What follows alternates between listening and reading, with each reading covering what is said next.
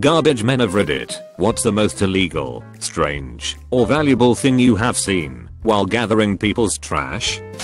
I work on a landfill site which is where all the rubbish ends up, so I get to see my fair share more than the average bin man. I'll start with some illegal things we found.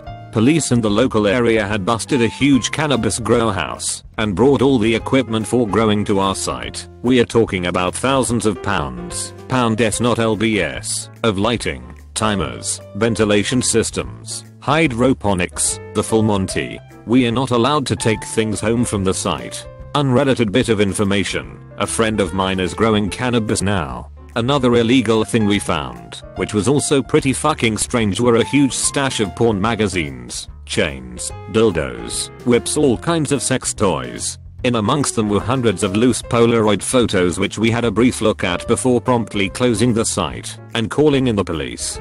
Boy and a girl, couldn't have been older than 7 or 8 the pair of them. We recognized the other items in the photographs.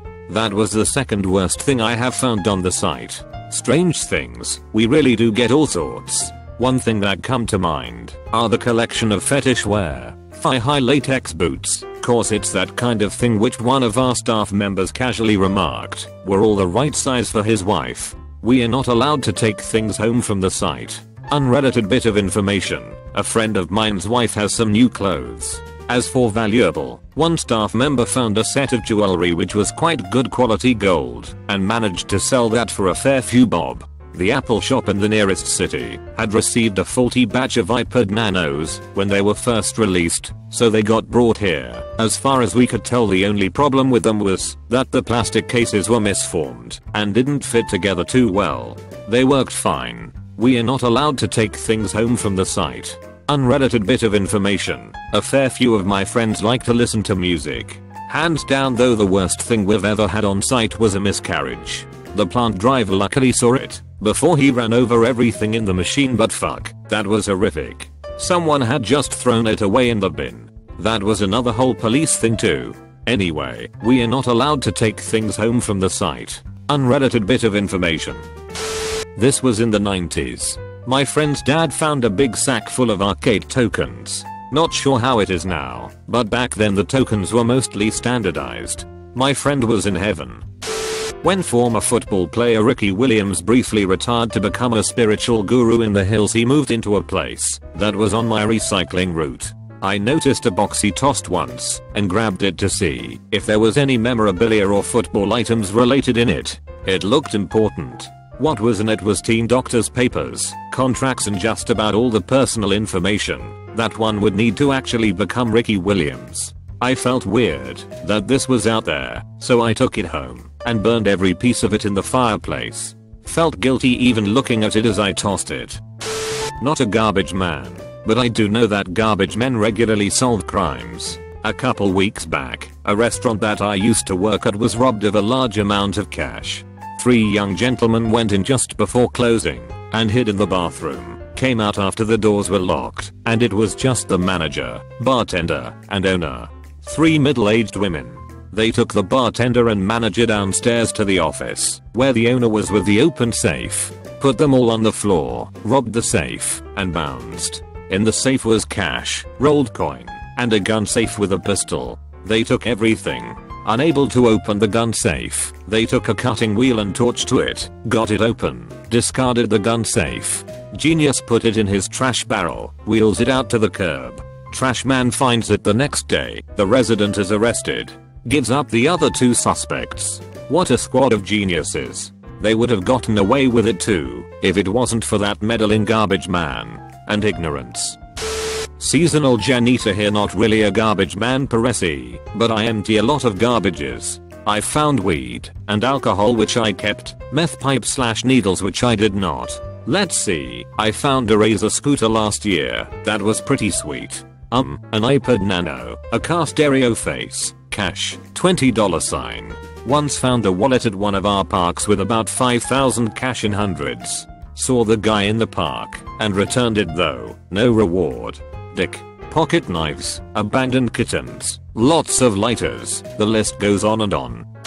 Finally my time to shine. I worked as sort of a secondary garbage man. I was on the truck when they needed an extra hand or the main guy was sick, and from the short time I have a list of the things I found. And some of the more valuable things the other guys acquired. Mind you this is from a small Canadian town. A working PS3. A working iPhone 4. This was before the 5 was introduced. Two laptop computers. Monitors were broken. And nothing else. Multiple desktop PCS. An FM transmitter. Every you would ever need. An N64 with a few games. 5 bottles of unopened hard liquor. All sorts of hunting equipment. And furniture. Lots of good furniture that I ended up refurbishing and selling. A lot of what I found was technology, simply because I had an eye for it. The main garbage man had a room in his house, dedicated to the things he found. From $400 now boards to full toolboxes and audio systems. And the truck driver made about an extra $500 every two months from recycling cans people would throw out. I also stumbled across a $100 bill once at the landfill. Finally my time to shine. I worked as sort of a secondary garbage man. I was on the truck when they needed an extra hand or the main guy was sick, and from the short time I have a list of the things I found, and some of the more valuable things the other guys acquired. Mind you this is from a small Canadian town. A working PS3. A working iPhone 4. This was before the 5 was introduced. Two laptop computers. Monitors were broken. And nothing else. Multiple desktop PCS. An FM transmitter. Every tool you would ever need. An N64 with a few games. 5 bottles of unopened hard liquor. All sorts of hunting equipment. And furniture. Lots of good furniture that I ended up refurbishing and selling. A lot of what I found was technology, simply because I had an eye for it. The main garbage man had a room in his house, dedicated to the things he found. From $400 now boards to full toolboxes and audio systems. And the truck driver made about an extra $500 every two months from recycling cans people would throw out. I also stumbled across a $100 bill once at the landfill. I did junk removal for a while and we used to clean out estates of people who died. You can find some nice records or old furnitures that would end up be worth lots of money. One day, after a third week straight of cleaning out estates of the deceased, my coworker and I stood still in this old woman's living room and kinda just stopped. We realize the value of someone after they pass, or rather, the lack thereof. Here we are throwing out photo albums, books, journals, note cards, all things that were once valuable to somebody, but now they are just being chucked to a garbage truck without any thought. All those things that a person has spent their lifetime accumulate ended up meaning nothing. Often the children come and sort out some stuff, but most of the time it's just get rid of everything. It made me realize that accumulating material goods is really a futile way of living. You can't take it to the grave most of the time, and it just end up in a landfill. Jabronus like us would try to make a buck out of the candlesticks that you so adored and thought your children would definitely take. It is morbid to think that we are just literally throwing away someone's life and memory. I don't know, just something to think about. Collect experiences, as those cannot be taken by anyone. If the choice is between that nice watch and a weekend trip to Mexico, probably choose the latter. This was in the early 90s. I was emptying the public trash cans in a city center in mid-England. I saw this really expensive bound leather photograph holder book.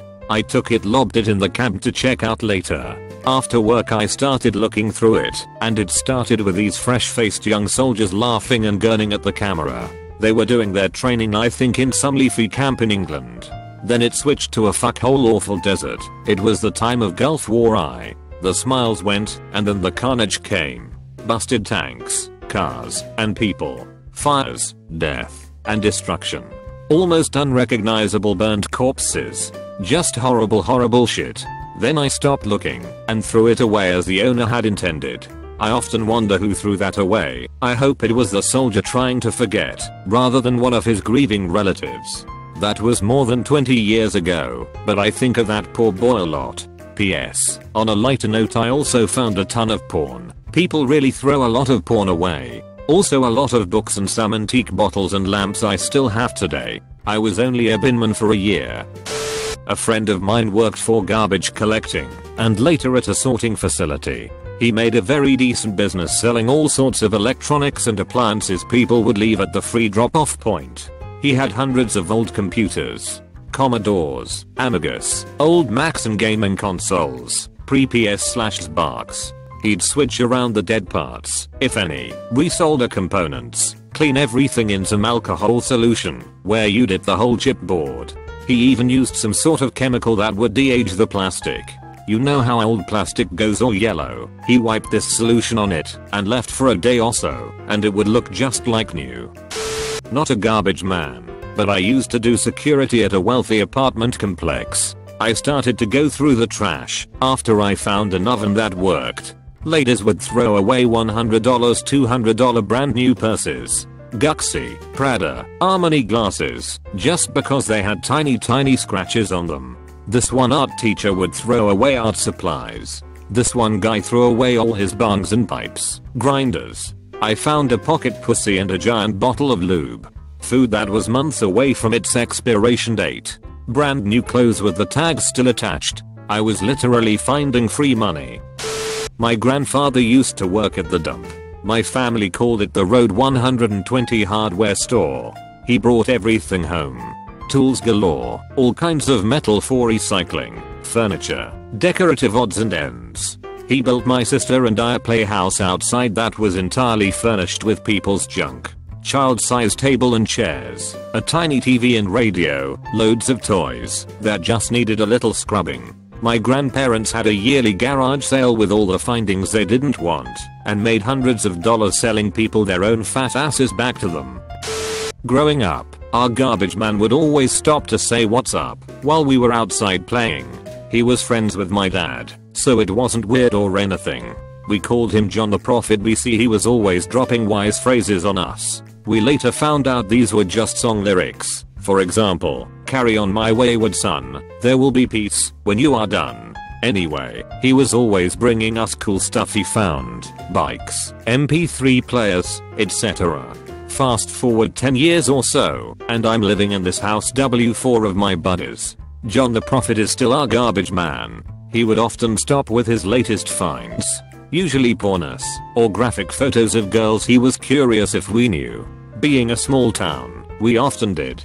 One time after Christmas, he brings us a brand new Xbox 360 still in the box. He said he found it on his route and his kids already had one. Coolest guy ever. I still consider him a close friend. Best part about that 360, I was volunteering at an after school program back then, and shortly after this one of my kids came in bitching that his dad tossed his new Xbox BC he and his brothers were fighting over it.